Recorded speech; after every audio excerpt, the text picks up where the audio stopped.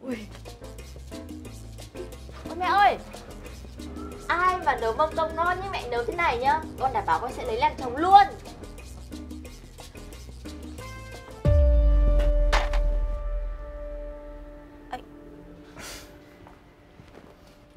Con gái của đứa cha y tư tí nào cả. Mâm cơm này ấy, Là cậu Nam nấu hết đấy. Mẹ có phải động tay động chân vào cái món nào đâu. Cậu Tại sao cậu lại ở đây? À, thì hôm nay tôi ở đây bởi vì là ở đây có một cuộc thi nấu ăn tuyển để làm chồng của cậu mà. Ơ, này này này, cậu làm cái gì đấy? Lan Anh dừng lại. Mẹ! Này, này nhá Đây là nhà của tôi nhá. Cậu đi về nhà ngay lập tức Đừng có mà đến đây nữa. Chính mẹ bảo cậu Nam Về nhà mình ở đấy. Con cứ thử đụng vào cậu xem. Mẹ chả đánh cho con nát đít ý. Mẹ Thế rốt cuộc con là con của mẹ Hay là cậu ta vậy Ờ Không phải con của mẹ đấy. Nếu mà là con của mẹ Thì phải thùy vị Nết na Chứ ai đánh đá cá cẩy như con ấy. Ngồi đây bác.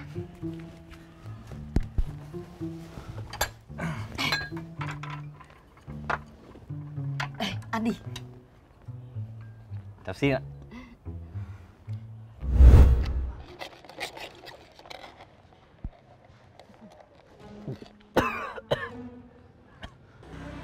Này, hôm nay cậu có nàng tiên nào nhập vào à?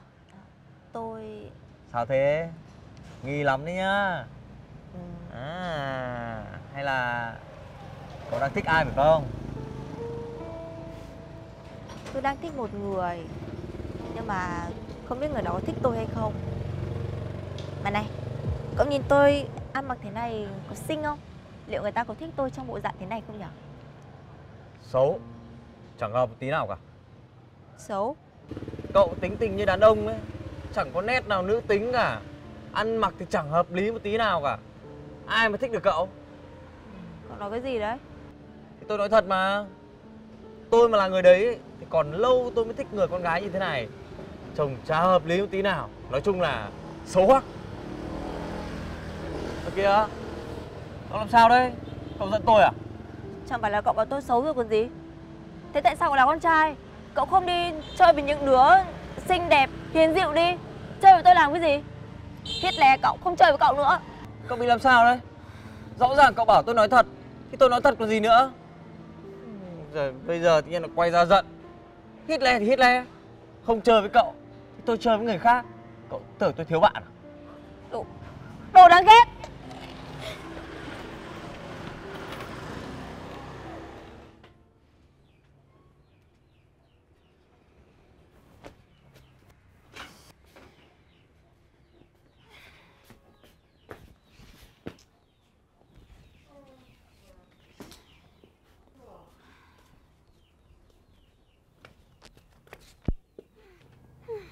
Sao mà mặt mũi trông khó ở thì con.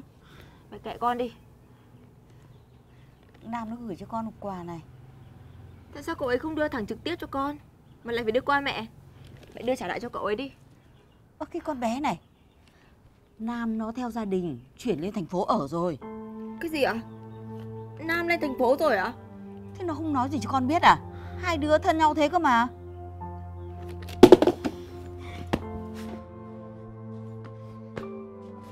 Ơ hay. Cái con bé này. Cậu ăn món này đi. Ngày xưa tôi nhớ là cậu thích ăn món này lắm đấy. Không ăn. Tôi đổi món rồi. Thế thì cậu ăn món này đi. Tôi đổi gu rồi. Không thích ăn những món ăn này nữa. Cái con bé này. Nam nó vất vả cả buổi Để làm toàn món con thích. Sao con lại cứ xử như thế? Chả ra làm sao cả. Con cần cậu ta phải nấu ăn cho con à? Tự nhiên nấu làm cái gì? Không ăn Không ăn thì thôi. Càng còn. Hai bác cháu mình ăn đi. Nó không ăn à? Cho nhị Vâng ạ. Thực ra thì ngày xưa cô ấy đã như thế rồi. Có phải là bây giờ mới thế đâu. Cho nên cháu quen rồi. Từ ngày mai ấy, là bác cứ để cháu phụ trách nấu cơm. Để xem cô ấy nhịn được bao lâu. Cái gì? Này Cậu định ăn nhỏ đậu nhà tôi đến bao giờ đấy hả? Không về nhà đi. Cái con bé này Hôm nay làm sao nhở? Mẹ nói cho con biết nhá. Từ nay ấy Vĩ Nam sẽ đến đây ở nhà mình. Có hiểu chưa? Cái gì ạ? Cậu ta đến ở nhờ nhà mình á? Thế nhà của ta đâu? Nhà Vi Nam ở quê ấy đã bán từ ngày xưa rồi. Bây giờ cậu ấy về quê thì đến nhà mình ở có sao đâu. Ngày bé chẳng sang nhà mình ăn ở suốt là gì? Ngày xưa là ngày xưa Bây giờ là bây giờ. Cậu đi về nhà đi Đi về. Này! Đây là nhà mẹ nhá Mẹ cho ai ở đây ấy là quyền của mẹ. Con cũng đang ở nhờ đấy. Mẹ. Nào, Cháu cứ yên tâm ở đây với bác. Đứa nào mà đuổi cháu á Bác đuổi nó luôn ra khỏi nhà. Mẹ. Thế rốt cuộc là mẹ nhặt con ở ngoài đường à? Ờ đúng rồi. Ơ, Mẹ nhà con ở ngoài đường về mà. Chứ nếu mà là con mẹ Thì đâu có khó ưa Khó ở Nóng tính như con. Đúng đấy bác ạ Cháu thấy bác là một người vừa hiền lành Vừa dịu dàng Vừa đảm đang. Chứ không khó tính hung dữ như là Ờ đúng rồi. Ăn đi cho kệ đó Dạ.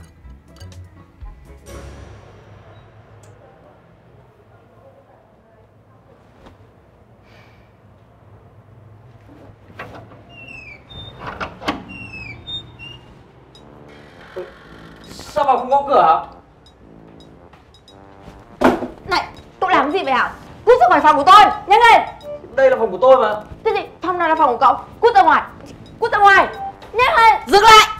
Lần này Con gái của đứa tại sao lại cầm chổi đánh đuổi như thế hả? Nhìn có ra dáng con gái không? Cậu ta tự ý vào phòng của con Cho nên con đuổi cậu ta ra ngoài thôi. Là mẹ bảo Nam vào đây ở đấy. Cái gì ạ? Đây là phòng của con mà. Mẹ cho cậu ta vào đây ở Thì con ở đâu? Thì con sang ngủ với mẹ. Sao mẹ vô lý như vậy nhở Rõ ràng con là con của mẹ. Bây giờ mẹ để cho người ngoài vào phòng của con ở Xong rồi bắt con phải sang phòng của mẹ ở. Sao mẹ có thể đối xử với con như vậy được? Vi Nam về đây ở ấy Cũng không phải là ở không đâu. Về để giúp mẹ những việc nặng. Ừ, Thế nên Vi Nam ở đây. Ừ, Coi như là mình trả phí cho cậu ấy. Con đừng có mà ý kiến gì đấy. Con không đồng ý. Đây là phòng của con. Không đi đâu cả. Không đi đâu á Thì cứ ở đấy. Muốn làm gì thì làm. Ược bước Khó bảo.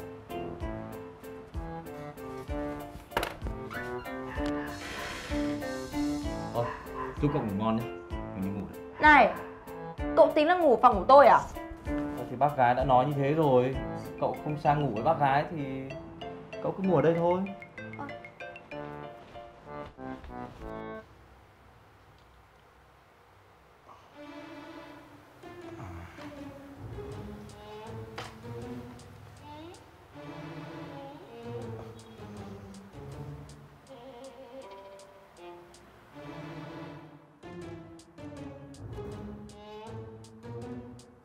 Hay là cứ như thế này ngủ nhá.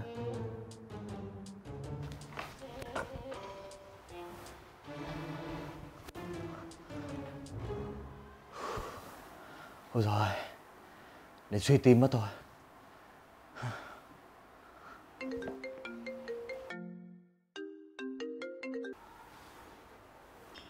Alo Tôi nghe đây.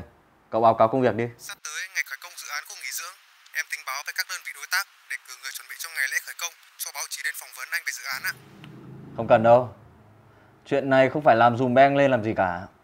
Bởi vì tôi có một số chuyện Chưa muốn lộ thân phận ra.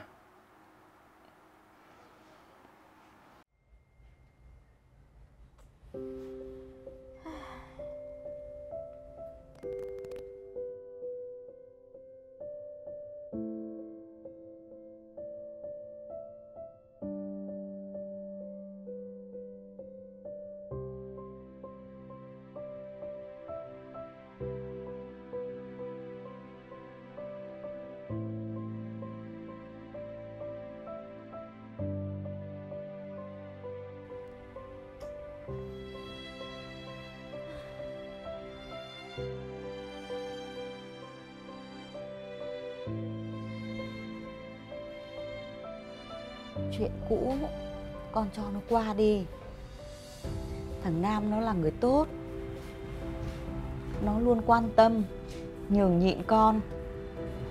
Lần này về quê, Nó ở nhà mình Cũng là chuyện bất đắc dĩ thôi. Hai đứa, Dù sao cũng là bạn tốt. Con đừng vì có xích mích nhỏ Mà làm mất tình bạn. Này. Vừa mới đấy cái mà đã ngủ rồi Lại còn ngáy nữa chứ. Sao mình lại có đứa con gái vô duyên khủng khiếp như thế chứ?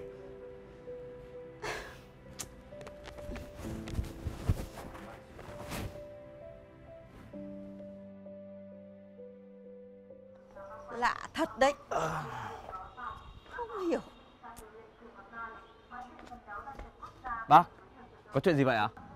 Bình thường á Bác gọi cứ mỏi mồm nó có chịu dậy đâu Thế mà cháu vừa đến một cái Nó dậy rõ là sớm Đi làm mất hút rồi Không có chịu ăn sáng luôn đi Thôi bác cháu mình vào nấu đồ ăn sáng đi Dạ vâng ạ.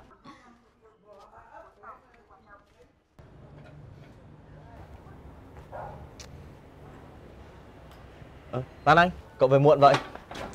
Không cần Lan Anh, mình làm gì mà khiến cậu cứ ghét mình rồi tránh mặt mình như thế à? Tại vì tôi ghét cậu đấy Ai bảo ngày xưa cậu suốt ngày chọc tức tôi Cho nên tôi ghét cậu. Tôi không muốn nhìn thấy mặt của cậu. Cho nên lần sau cậu đừng có mà xuất hiện trước mặt của tôi nữa. Mà cậu đang sống ở trên thành phố mà. Tại sao không sống trên đó luôn đi? Về quê làm cái gì? Lan Anh Con có thường ngày cho mẹ không? Ơ, Lan Anh Cái con bé bướng bỉnh này Thật là Chắc là Lan Anh vẫn đang ghét cháu. Cho nên cô ấy mới tránh mặt cháu như thế.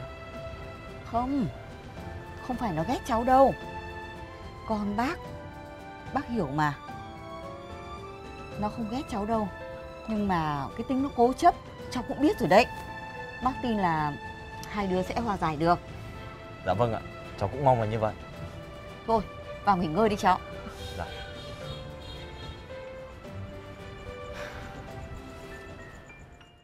Lan Anh Con dẫn Nam ra ruộng. Chỉ chỗ cho nó làm cỏ nhá. Con á? Tại sao lại là con? Con bận lắm con không chỉ đâu. Thế bây giờ con muốn ăn đòn Hay muốn chỉ cho Nam nó ra đấy? Hả? Chỉ thì chỉ ạ. Mẹ có thể nói nhẹ nhàng với con như là Nói chuyện với cậu ấy được không? Thì con cứ thử nghe lời như người ta xem. Chỉ thì cũng được thôi ạ Nhưng mà người ta làm việc lâu năm ở trên thành phố Không biết là có quen những công việc này hay không Liệu con chỉ không biết là có tiếp thu hay không thôi Dạ, cháu thưa bác, cháu đi ra ngoài đồng luôn đấy ạ. Cháu sẽ sới hết sạch cỏ luôn ạ. Cháu chỉ cần Lan Anh ở bên cạnh thì việc gì cháu cũng làm được ạ. Cậu Thế thì được rồi Hai đứa đi đi Đi thôi.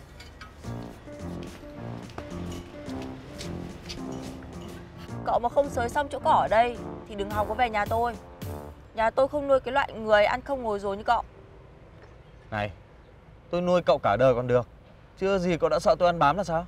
Ai cần cậu phải nuôi tôi Chỉ cần cậu không xuất hiện trước mặt tôi Là tôi cảm thấy bình yên, hạnh phúc lắm rồi Có thật như vậy không? Cậu ghét tôi đến mức ấy cơ à?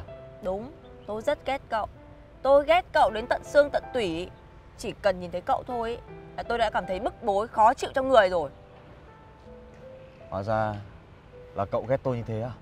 Đúng vậy đấy Cho nên đừng có xuất hiện trước mặt của tôi nữa Được. Tôi sới xong cỏ của ruộng rau này cho bác gái đã. Rồi tôi sẽ đi ngay. Lúc ấy cậu sẽ không cần phải khó chịu nữa. Nói đi là đi luôn như vậy à Được rồi Đi thì đi luôn đi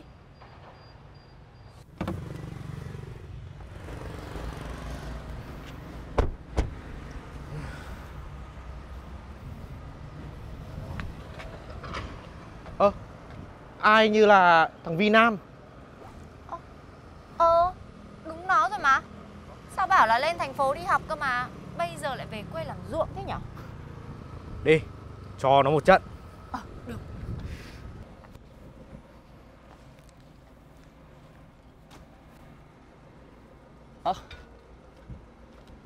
Dương, My, lâu lắm không gặp. Đúng là hai cậu rồi. Này Biết cái áo này bao nhiêu tiền không mà dám động tay lên hả À, xin lỗi. Tại tôi vui quá. Lâu ngày gặp lại bạn cho nên quên mất. Tôi thấy có khi là tại bây giờ cậu ta nhà quê quá Cho nên là không thể biết được cái áo của cậu là hàng hiệu đấy Sao thế Ngày xưa học giỏi lắm mà ờ, Đạt giải của tỉnh Của huyện này nọ cơ mà Sao bây giờ lại về quê làm ruộng thế này Xem ra hai cậu có vẻ thành công. Thế thì cậu lại không biết rồi Dương bây giờ đang là trưởng phòng của công ty Phú nhỏ ở trên thành phố. Hôm nay về quê là để ký kết một dự án vô cùng quan trọng với cả một đối tác rất lớn. Còn tôi là phó phòng. Vậy thì chúc mừng hai cậu. Người ta học giỏi còn chả ăn ai ấy chứ. Thế mà cậu bây giờ cũng chỉ cầm mấy cái tấm giấy khen đấy về đây để làm ruộng thôi à? Đúng là thất bại thật đấy.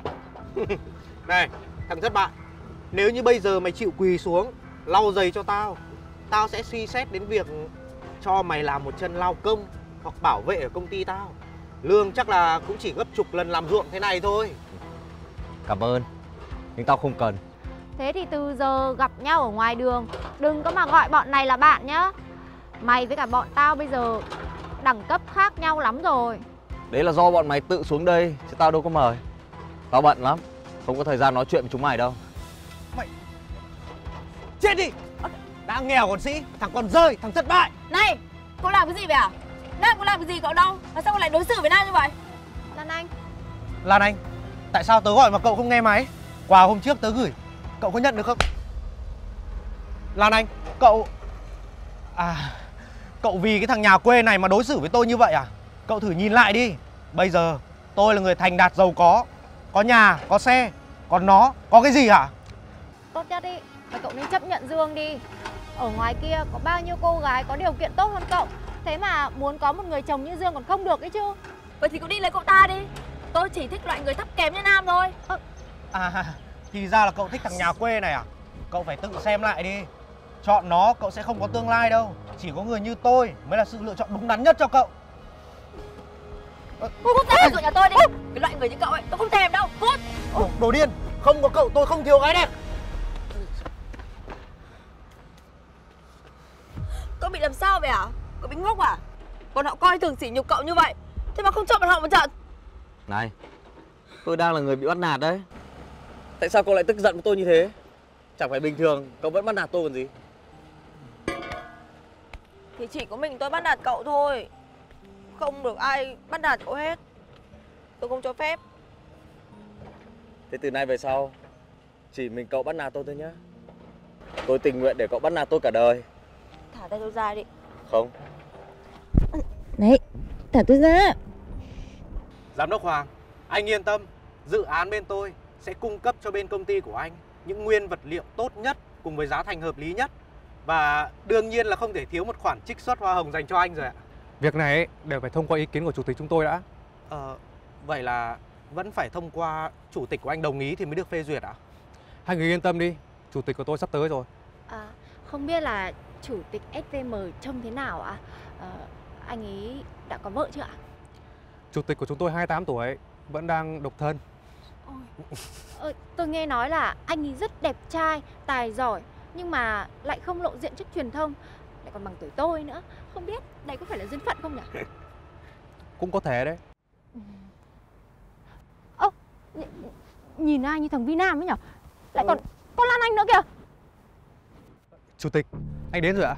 Cái gì? Cái gì? Chủ tịch á Chủ tịch á? Thằng này là chủ tịch á? Chuyện chuyện này là sao đây anh? Chuyện này là sao? Giới thiệu với hai người.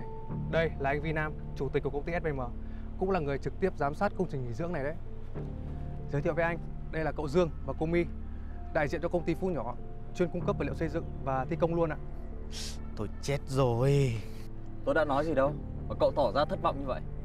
À... Ờ, Chủ tịch Nam ạ Cái chuyện hôm qua ấy Chỉ là đùa vui thôi Bạn bè lâu ngày không gặp Đùa vui một tí chắc là chủ tịch không để bụng đâu nhỉ Đúng rồi đấy Ờ, Bạn bè thì chỉ đùa nhau một chút thôi mà Cậu có thể nể tình mà bỏ qua trong dự án lần này có được không ạ? Tại sao hai người có thể lật mặt nhanh như vậy được nhở? Ngày hôm qua còn ném đất vào người của Vi Nam Thế mà bây giờ lại còn quay sang bạn bè được rồi Cái gì? Hai người dám làm như thế với chủ tịch của tôi á? Tôi sẽ báo cáo lại chuyện này với giám đốc hai người. Ờ, ờ, ờ, Chủ tịch Nam, anh Hoàng Tôi tôi, tôi xin hai người ờ, Tha cho tôi lần này ạ Ờ, Chuyện này mà nói ra Chúng tôi mất việc mất ạ Chuyện này không thể bỏ qua được. Cô cậu làm như thế mà dám đứng đây bàn hợp đồng với tôi à? Không cần đâu. Nhưng mà cậu Không sao đâu. Nhờ chuyện này mà cậu mới đồng ý tha thứ cho tôi mà. Chủ tịch Nam Vậy là chuyện này chúng ta có thể Chuyện hai người đối xử với tôi ngày hôm qua thì tôi sẽ không nhắc đến. Nhưng chuyện hợp tác tôi sẽ không đồng ý nếu hai người đứng ra chịu trách nhiệm ký. Bởi vì tôi không muốn làm việc với những người khinh thường người khác, đặc biệt là coi thường người nông dân. Nam ơi, cậu có thể bỏ qua cho bọn mình nốt lần này được không? Mời hai người về cho. Chúng tôi còn phải bàn bạc với đối tác khác.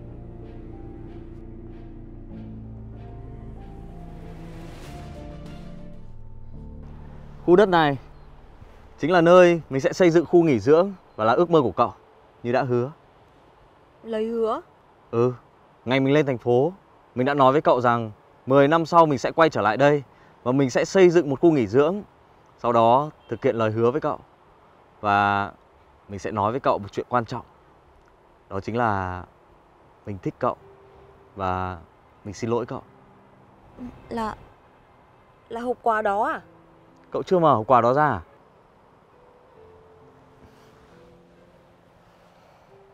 Mình thích cậu.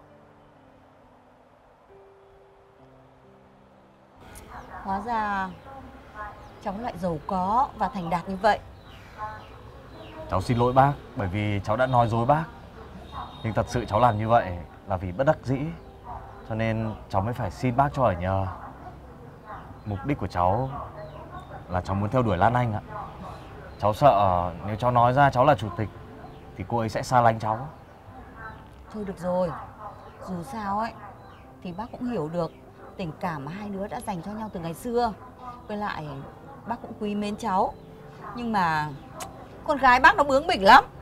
Nó phải đồng ý thì bác phải giúp cháu được. Dạ bác. Bác có thể đồng ý cho cháu và Lan Anh kết hôn với nhau được không ạ? Mẹ Mẹ đồng ý cho tụi con nhé